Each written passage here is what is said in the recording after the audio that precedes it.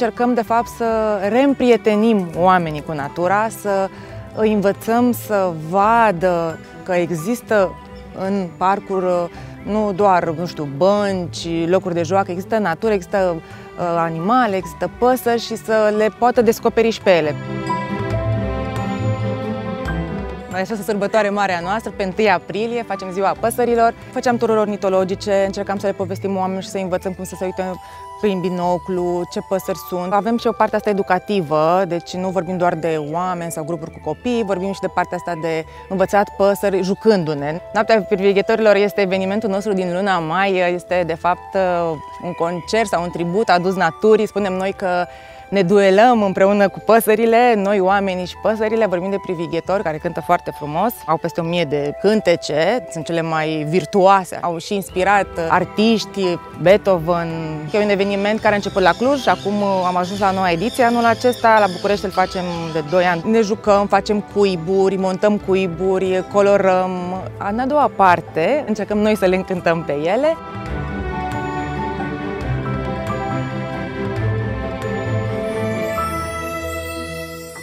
Avem tendința ca orice găsim să ni se pară nouă că este neajutorat și că are nevoie de ajutor. Este o vorbă că orice faptă bună la un moment dat poate să fie dăunătoare.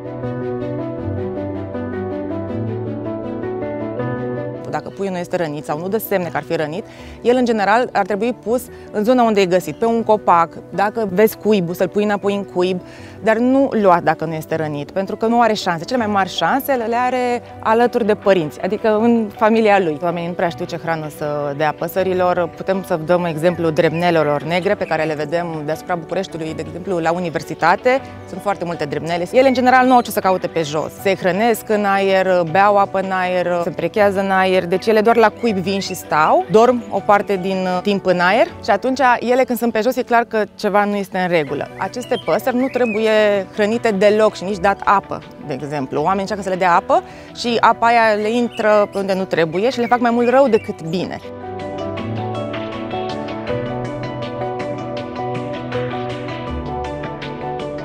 Ar trebui să le respectăm spațiul, așa cum nu facem gălăgie la ușa apartamentului vecinilor, Așa ar trebui atunci când ne dăm seama că trecem pe lângă un cuib să vorbim mai încet. Poate să nu ne plimbăm cu o boxă portabilă dată cu volumul la maxim atunci când ieșim în parc.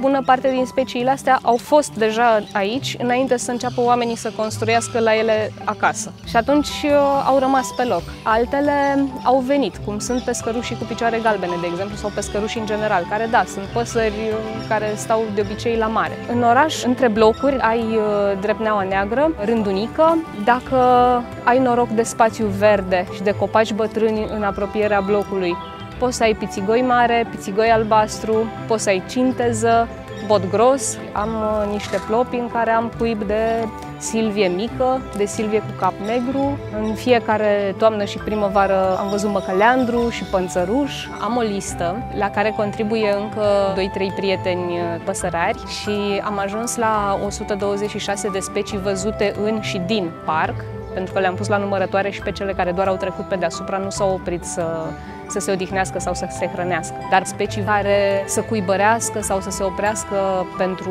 mâncare și pentru odihnă în Parcul Tineretului am văzut peste 100.